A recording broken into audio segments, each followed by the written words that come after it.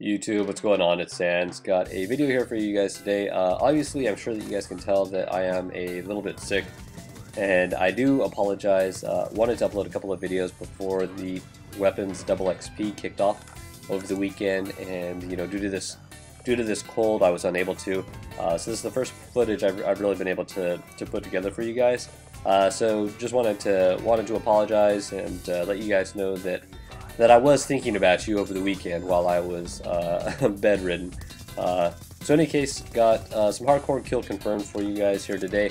As you guys probably noticed, hopped into the middle of the match and you know started to do uh, started started getting some pretty good uh, you know kill streaks going and, and some other stuff. So a little bit disappointed that I hopped in in the middle because I really wish that I would have been able to to play the entire round through. So got some uh, some tips for you guys today uh, while I will be doing this, and also have some news stuff. So let's go ahead and hop into the news real quick, and uh, wanted to touch on uh, as most of you PlayStation owners out there know, uh, at least I, I I would assume that, that a lot of you know, the PlayStation 4 is going to be announced here on February 20th. So if you guys haven't heard about this, or maybe if you're unclear as to what's going on with it, uh, Sony released a video on their website, and it's also on YouTube. So I would recommend going going and checking it out and it, it pretty much basically shows you know the PlayStation buttons uh, of the controller. So you know that can only lead one to assume and speculate that you know uh, the PlayStation 4 is is going to be launched here pretty soon. Uh, it turns out that that the code name for it is Orbis, and uh, and then right here just uh, this guy right here that I killed, I could hear him shooting at me. Um, so I am using like that super crunch setting in the in the sounds, uh, the sound setting or the audio options. If you guys haven't seen my video on that, there is a link to it right here.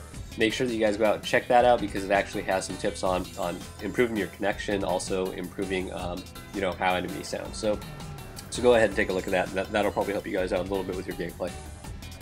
Alright, so now back to the PlayStation 4. Again, code name is Orbis. And they are saying that it is going to have a new controller. Um, now, this new controller itself actually is going to be pretty much the same thing as having like as, as what the DualShock is right now, but it is going to incorporate a touchpad somehow into it. And I don't know if the plan is to basically use, you know, what's on the, the current like little PlayStation Vita or or what, but that's kind of that's kind of how it sounds. So the release date for this is going to be holiday 2013 for those of you in America and in Japan. Uh, they're saying that 2014 will be the release date for those of you in Europe, and I'm not sure what's happening with South America uh, or the rest of the world. So uh, we will we will definitely be looking at that, and I'll keep you guys posted on anything that I happen to come across covering that topic, and uh, and eager to see in any case. Um, and this dude, like, what are the odds that he's actually facing me? I think that's the first time that that I've ever camped on someone's tac insert and they've actually been able to kill me. So that was that was kind of crazy, uh, right there.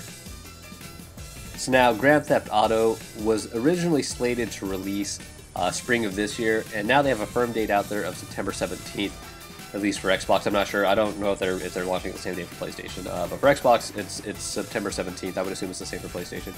In any case, I was I was a little bit bummed at first because I, I I'm so looking forward to this title. Uh, Grand Theft Auto is just one of those games that, that I absolutely love and, and, and get a kick out of. I think it's hilarious.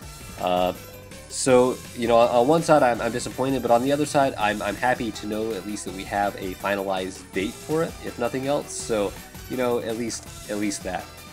So one thing I'm wondering is, I know that, that obviously if you guys are watching this video, you guys are all Call of Duty fans, uh, you know, just like I am. But how many of you are actually, you know, excited about about Grand Theft Auto? Is that is that a title that you guys play? I guess I'm just kind of wondering how many of you strictly just play, you know, Call of Duty, uh, and how many of you actually play a variety of different games. You know, I play Call of Duty, I play Battlefield, you know, I play Grand Theft Auto, obviously. Uh, I play I play a lot of a lot of different games. You know, Left 4 Dead as well.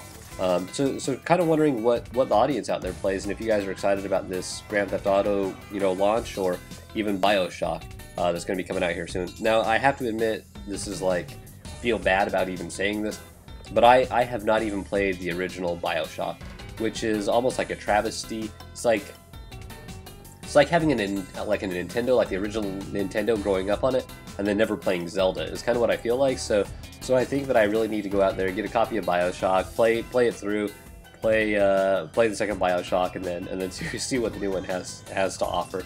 And and I am actually pretty excited about that one. It looks it looks insane. I mean, the graphics and, and the story and everything else look absolutely just sick. So, so definitely going to be picking that up. But I feel like I need to at least play the first and second Bioshock as well. All right, you guys. So this last portion, I want to uh, stress the importance of current current events and why I would encourage everyone watching this video, whether you're nine years old and watching this, or whether you're 50 years old and watching this, to really kind of uh, to pay attention to what's going on in, in, in the news. So Electronic Arts testified before uh, the vice president regarding violence in video games and whether or not there was some sort of correlation between, uh, you know, violent video games and mass shootings. And the United States government has allocated $10 million to conduct a study to, to see if there is some sort of a link.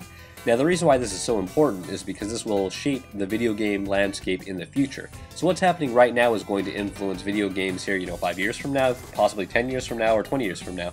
So I would encourage all of you to really, really pay attention. Grand Theft Auto was originally banned in Europe, and, uh, you know, don't want to see that happen here. So, so stay informed.